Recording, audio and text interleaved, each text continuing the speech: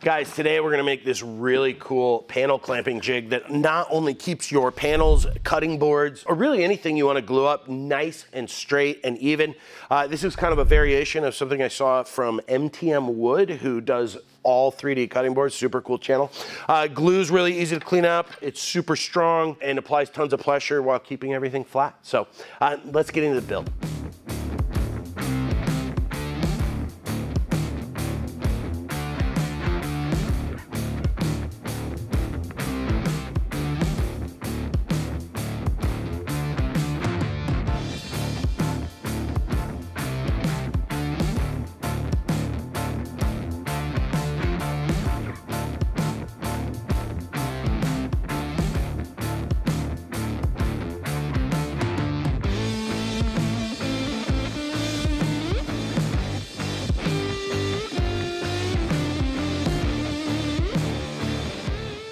Jonathan Katz-Moses from the future here. Just so you know, uh, although this is a great way to put in bolts into jigs and things like that, we're gonna end up uh, changing this uh, towards the end of the video. We're gonna throw in some T-track, so grain of salt on this next part. Okay, so now we're gonna build a torsion box-like frame underneath it, just something very simple, but that keeps it flat, you know.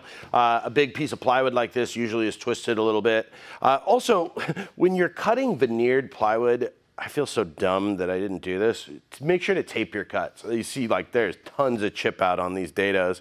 And granted, it's an old dado stack, but uh, I should have taped those and that would have made sure that it didn't get chip out. Luckily, this is just shop furniture and we don't care, but it still bugs me a little bit. But we don't hide our mistakes on this channel we know that we fix them, although there's not much to do to fix this unless you redo it. However, it's not gonna affect the functionality of it, and uh, I'm just gonna let it go. So, let's build a frame underneath this. We're gonna mill up our fences. I think I'm gonna use hardwood, make sure it's super nice and square. Not that that really matters, because when you're clamping a panel or a cutting board, it helps with it, it's square, but it, it's not gonna make a massive difference if it's not perfect. Let's get to it. I think I'm gonna build the frame out of like just two by four lumber uh, and just mill it up. So let's get to it.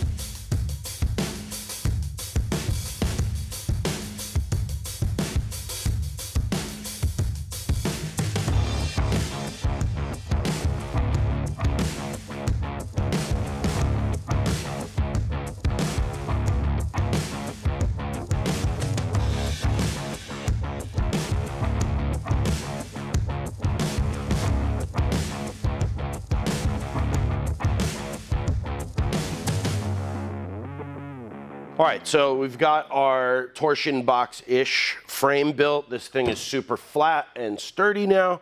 Uh, and we're gonna work on our fences. Now, I'm going to be using like a high-grade plywood like Baltic birch, or you could use hardwood.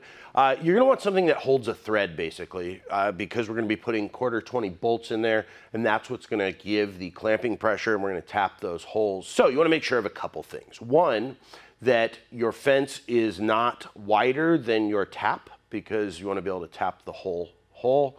Uh, and the other thing is you want to make sure that it's going to hold that thread. So if you were to use something like pine, uh, you know, it may work, but I don't know if those threads are going to hold up over time, especially if you're using this thing all the time. So hardwood or high quality plywood will work great for you.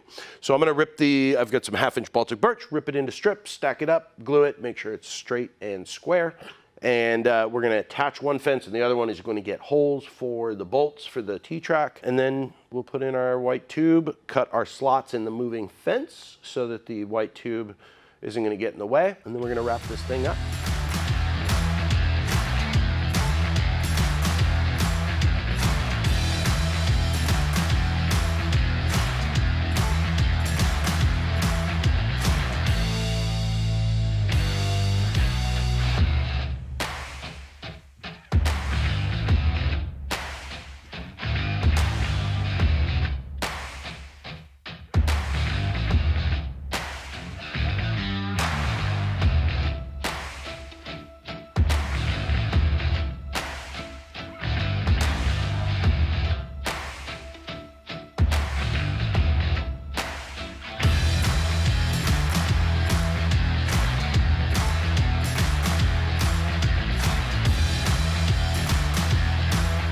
All right, so we've got this thing done, and boy, does it look cool. So the way this works is this fence slides, and I'm gonna show you, we're gonna glue up a panel here in a second. This fence slides, you put a caul in between your panel, your cutting board, whatever you're gluing up, uh, and then you just tighten down your bolts. So you, you bring your caul in and your fence, tighten it up, and uh, then tighten your bolts. You're gonna get tons of clamping pressure. One other thing you can do is take a piece that goes across this way and I would set it over your runners. And then you could just take little blocks that raise this up slightly above and then clamp it down. And if you're having problems with your panel going up this way, then you can use that to keep it flat against the table. So let's get into a glue up here and let me show you how this works.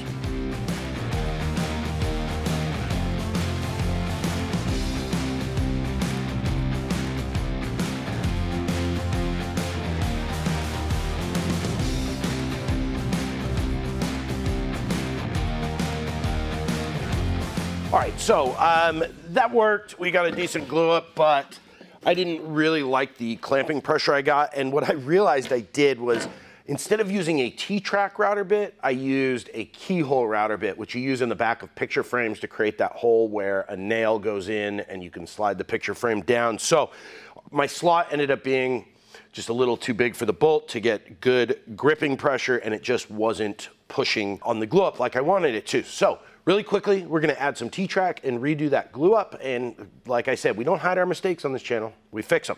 So we're gonna add some T-Track. I might do another row of T-Track just to uh, get a little bit more pressure. We'll see if it's even needed. Um, but let's do that really quickly and re-glue this up.